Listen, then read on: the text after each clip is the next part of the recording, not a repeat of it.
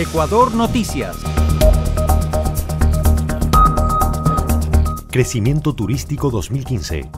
El Ecuador tuvo un incremento del 13% en ingresos turísticos en el 2015. Se pasó de 492.2 millones de dólares en 2007 a un estimado de 1.691.2 millones de dólares. Los datos muestran que este año se registró un saldo positivo en la balanza turística estimado en 650 millones de dólares.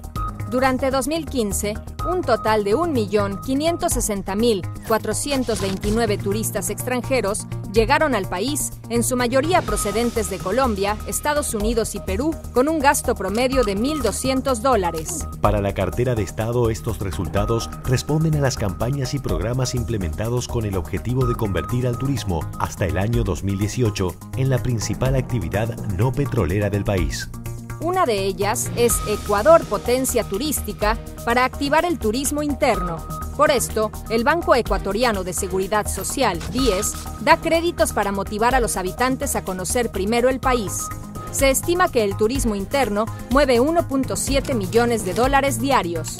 Otro de los hitos del sector turístico durante 2015 son la firma de 12 contratos de inversión por un monto de 143 millones de dólares, generando 700 nuevos empleos. Este es un resultado de la gestión del Consejo Sectorial de la Producción del país. Mejoramiento de la salud. En 2016, el Instituto Ecuatoriano de Seguridad Social, IES, emprenderá en un programa intensivo para la construcción de infraestructura sanitaria. De esta manera, se podrá ofrecer una mejor atención a los afiliados y evitar así el excesivo pago a clínicas privadas, según lo anunció el presidente ecuatoriano Rafael Correa.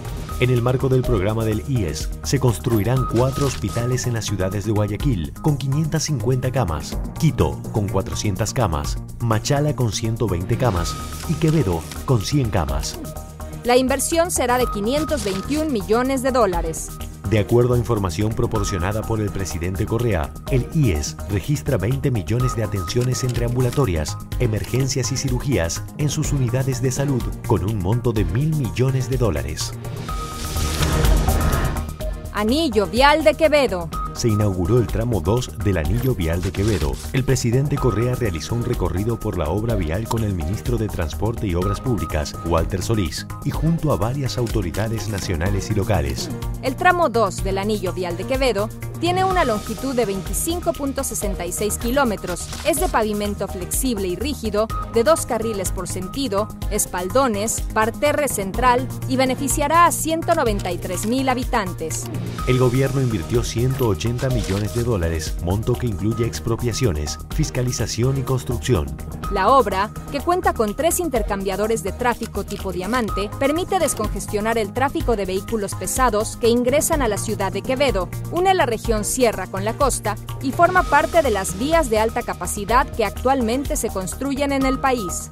El proyecto ha generado 350 plazas de trabajo. Plan Decenal de Educación. El Ministerio de Educación está construyendo el Plan Decenal de Educación 2016-2025 con la participación de estudiantes, profesores y autoridades educativas con la intención de generar metas y propuestas participativas e inclusivas. Este es un instrumento de gestión estratégica que define la política pública del sistema educativo para los próximos 10 años. Su finalidad es mejorar la calidad educativa y lograr una mayor equidad garantizando el acceso y la permanencia de los y las estudiantes en el sistema educativo.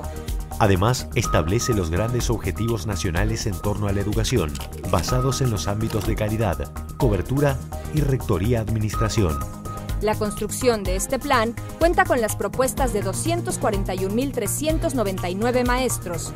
El pasado 17 de diciembre, el ministro recibió la primera propuesta del plan que plantea tres ejes de trabajo, la eficiencia de la gestión educativa, la calidad y la cobertura.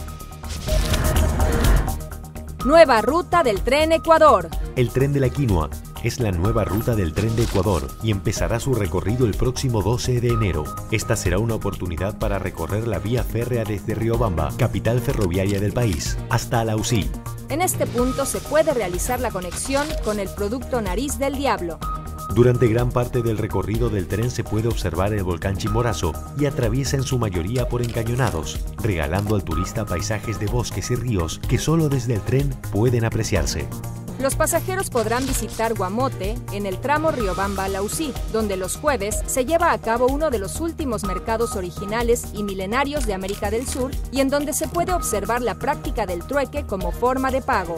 El precio de 50 dólares incluye los boletos del tren, guía durante el recorrido, las visitas y un snack a bordo del tren. Sigue conectado con Ecuador Noticias.